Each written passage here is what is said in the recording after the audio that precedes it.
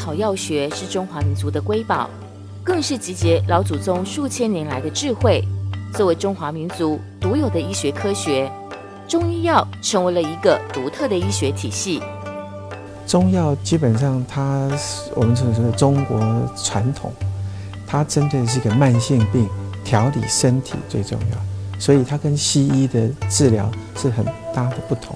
它应该是治根，而不是。呃，这个根本的改变，而不是真的是急性的这个药物的治疗。而工研院配合政府政策，将生医产业列为主要策略研发领域之一，而中医药产业更是其中推动研发的重点项目。我们在中草药第一个的研发，最重要是扶植产业，产业做得好，做事情比较放心。因为我们是以产业的呃成长或者产业价值的创造当做我们的任务。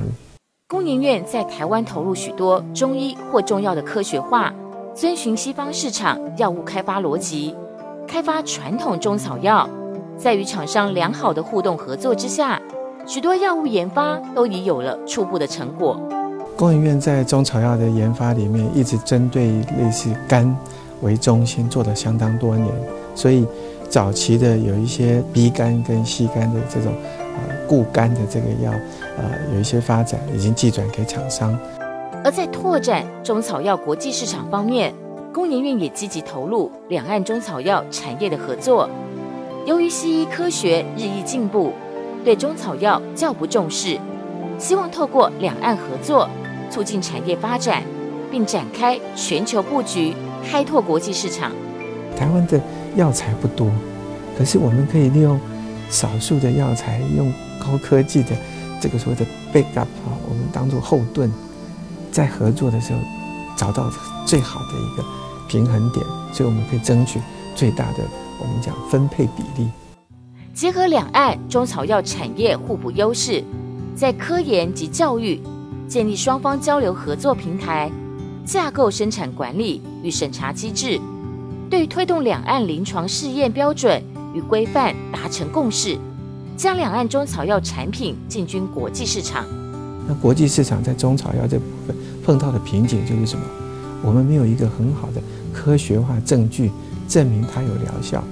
所以当这个有病治病、没病强身这件事情，在世界的这种其他的舞台，它不见得能够认同这件事情。为让中草药之药效。不仅仅为中国人所认同，更能说服全世界。工研院利用高科技设备，针对现有的药物进行研究，企图找出逻辑与证据。利用我们现在工研院的很多的高科技的东西，协助让药物开发更精准，而且证明它有效。所以在整个的这个所谓的水准的提升是重要的。工研院近年来除深入研究药物开发，更积极推动两岸中草药产业合作。经过一年交流、两年洽商，今年迈入第三年实质合作关系，展现丰硕成果。双方并于四月二十六日盛大举办二零一一两岸中草药产业合作及交流会议。大陆代表由中华中医药学会会长王国强。亲自率领由多位中医药界重量级人士参与，与台湾中草药产官学各界的精英进行交流对话。